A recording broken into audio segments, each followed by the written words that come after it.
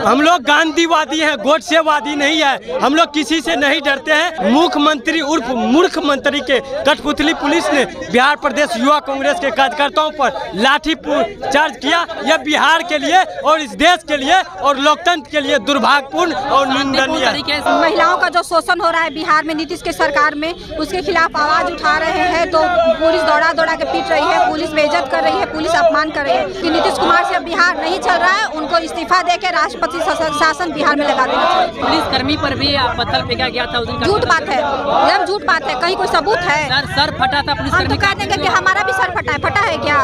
थोड़े से पैसों की लालच में इस स्टेट को बेचने का काम कर रहे हैं। भ्रष्टाचारी सरकार है ये हटना चाहिए।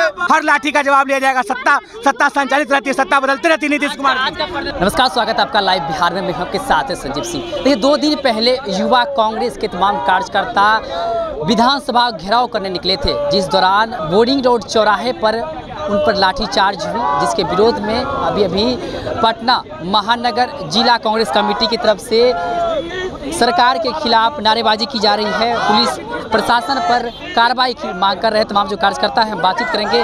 क्या कहेंगे? जी, हम लोगों ने परसों बिहार विधानसभा घेराव का कार्यक्रम का आयोजित किया था, जो शांतिपूर्ण तरीके से घेराव का कार्यक्रम था, उस पर पुलिस ने हम पे लाठीचार्ज की और आज उसी का विरोध करने के लिए हम लोग यहाँ पे एकत्रित है। मैं माननीय नीतीश कुमार जी से पूछना चाहता हूँ, माननीय प्रधानमंत्री जी से पूछना चाहता हूँ कि हमारी गलती क्या थी? हमने तो सिर्फ़ ये मांग किया था कि बिहार के जो भी विश्वविद्यालय हैं, वो समय से चले, समय से परीक्षा हो। बिहार को विशेष राज्य का दर्जा मिले। यहाँ पे कोर्ट लॉ और जो भी यहाँ पे जो कानून व्यवस्था है वो ठीक हो।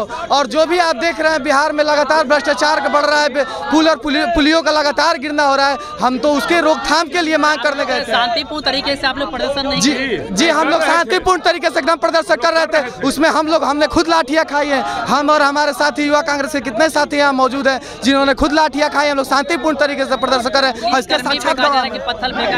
कोई पत्थर वगैरह नहीं फेंका गया, ये ये बेबुनियाद अपराध है, यहाँ पर आरोप लगाया जा रहा है, हम पे ये साजिश के तहत सिर्फ़ फंसाया जा रहा है, ऐसा कोई भी आरोप नहीं है। बीते दिनों युवा कांग्रेस द्वारा विधानसभा घेराव के लिए कार्यक्रम किया जा रहा था तो वही आपको बोरिंग रोड चौराहा के पास निहत्थे हमारे कांग्रेस कार्यकर्ताओं पर पुलिस द्वारा बर्बरतापूर्वक लाठीचार्ज की गई। उसकी हम घोर निंदा करते हैं। नीतीश कुमार जी अपनी कमज़ोरी साबित कर रहे हैं। हम लोग शांतिपूर्ण ढंग से अपना बात रख रहे हैं। और भी कुछ लोग हैं बातचीत क्या कहेंगे आप लोग? जिस तरीके से 24 जुलाई को बिहार प्रदेश युवा कांग्रेस के दिशा निर्देश पर हम लोग विधान बिहार विधानसभा का घेराव करने करने के लिए जैसे ही सड़क पर उतरे थे वैसे ही भारतीय जनता पार्टी और नीतीश कुमार मुख्यमंत्री उर्फ़ मूर्ख मंत्री के कठपुतली पुलिस ने बिहार प्रदेश युवा कांग्रेस के कार्यकर्ताओं पर लाठी चार्ज किया और घायल कर दिए और सभी को डंडे चलाए। यह बिहार के लिए और इस देश के लिए और लोकतंत्र के लिए दुर्भाग्यपूर्ण और निंदनीय। हम लोग गांधीवादी हैं गोडसेवादी नहीं है। हम लोग किसी से नहीं डरते हैं।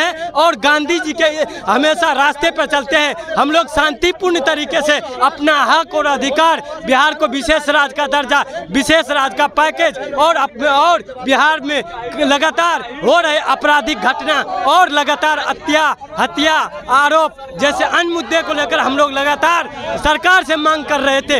इन सभी के खिलाफ भारतीय जनता पार्टी के पुलिसों ने हम लोगों को पीटा गया, मारा गया। या हम तमाम युवाओं के आवाज़ को बंद करने का काम किया गया। पुलिस पुलिस कर्मी पर भी पत्थर फेंका गया उनके भी ये बिहार पुलिस और सरकार के द्वारा दि, दिया गया यह साजिश है लेकिन यह साजिश को हम लोग नहीं मानते हैं और हम लोग अपने निडरता तरीके से अपनी आवाज़ को रखते हैं। हम लोग इस तरह का काम नहीं कर सकते। हैं यह काम इसका साजिश है और यह साजिश के खिलाफ आज हम लोग पूरे पटना के लोग शांतिपूर्ण तरीके से प्रदर्शन कर रहे हैं। क्या कहेंगे आप लोग पुलिस कर्मी के खिलाफ देखिए हम तो यही कहेंगे कि आजकल जो देख रहे हैं बिहार में अराजकता फैल चुका है बिहार में कुशासन फैल चुका है। और हम लोग अगर भ्रष्टाचारी पेपर लीक और आ, महिलाओं का जो शोषण हो रहा है बिहार में नीतीश के सरकार में उसके खिलाफ आवाज़ उठा रहे हैं तो पुलिस दौड़ा दौड़ा के पीट रही है पुलिस बेइज्जत कर रही है पुलिस अपमान कर रही है। हमारा यही कहना है कि नीतीश कुमार से बिहार नहीं चल रहा है उनको इस्तीफा दे के राष्ट्रपति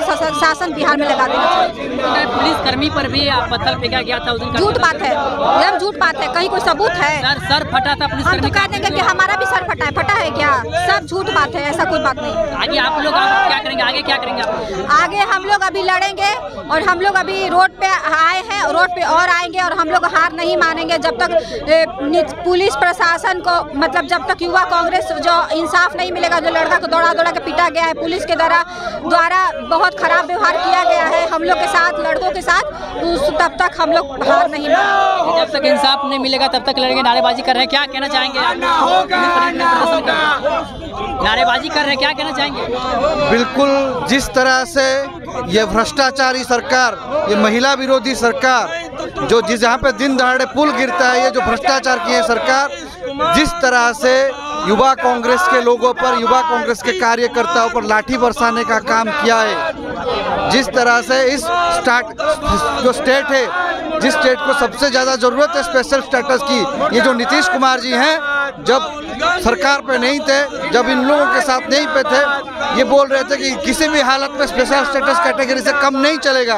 बट आज उनके गोद में जाके बैठ गए हैं थोड़े से पैसों की लालच में इस स्टेट को बेचने का काम कर रहे हैं। और पुलिस को आगे करके पुलिस के गुंडों को आगे करके ये लोगों पे जो लोग इस देश की अच्छा चाहते हैं। आगे क्या चाहते हैं? हम लोग चाहते हैं ये जो भ्रष्टाचारी सरकार है ये हटना चाहिए। लो नीट के ऊपर पेपर लीक के ऊपर जो यूथ कांग्रेस के कार्यकर्ताओं उन्हें अच्छा काम किया है। उन लोगों को सपोर्ट है लोगों का और साथ में ये सरकार को हटना चाहिए अपने तरफ़ से। क्या कहेंगे आप लोग? मल्लिकार्जुन खड़गे जिंद देखिए युवा कांग्रेस पर जो लाठी चार्ज हुआ उस लाठी चार्ज के विरुद्ध में आज कांग्रेस पार्टी सड़कों पर है।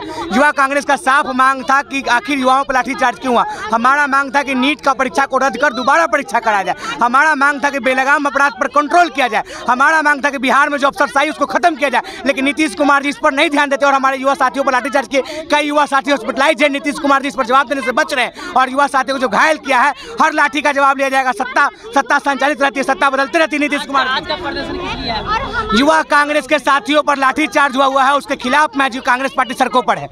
आगे क्या कीजिएगा? इससे भी बड़ा आंदोलन होगा डॉक्टर अखिलेश प्रसाद सिंह जी के नेतृत्व में। तो देखिए तमाम जो है कांग्रेस के कार्यकर्ता हैं और नारेबाजी कर रहे हैं पुलिस के खिलाफ और साफ़ तौर पे जिस प्रकार से बिहार सरकार को लेकर के लोग जो है आवाज़ उठा रहे थे बिहार सरकार को घेरने की कोशिश कर रहे थे युवा कांग्रेस के कार्यकर्ता जो है वो विधानसभा घेराव की तैयारी कर रहे थे और पटना के बोर्डिंग रोड चौराहे पे इन लोगों पर लाठीचार्ज हुई थी उसके खिलाफ ये लोग जो है सरकार के खिलाफ नारेबाजी कर रहे हैं, पुलिस के खिलाफ नारेबाजी कर रहे हैं और कई तरह की मांग कर रहे हैं और साफ़ तौर कह रहे हैं कि हम लोग डरने वाले नहीं हैं और जब तक मोदी नीतीश कुमार इस्तीफा नहीं देंगे, जब तक पुलिस प्रशासन जो लाठीचार्ज कार्रवाई नहीं होगी, हम लोग प्रदर्शन करते रहेंगे और अखिलेश सिंह के नेतृत्व में एक बड़ा आंदोलन और भी करने का काम करेंगे। क्या कुछ कह रहे थे? आप भी सुन रहे थे, आप भी अपनी राय प्रतिक्रिया कमेंट बॉक्स माध्यम दे सकते हैं। आप देखते लाइव बिहार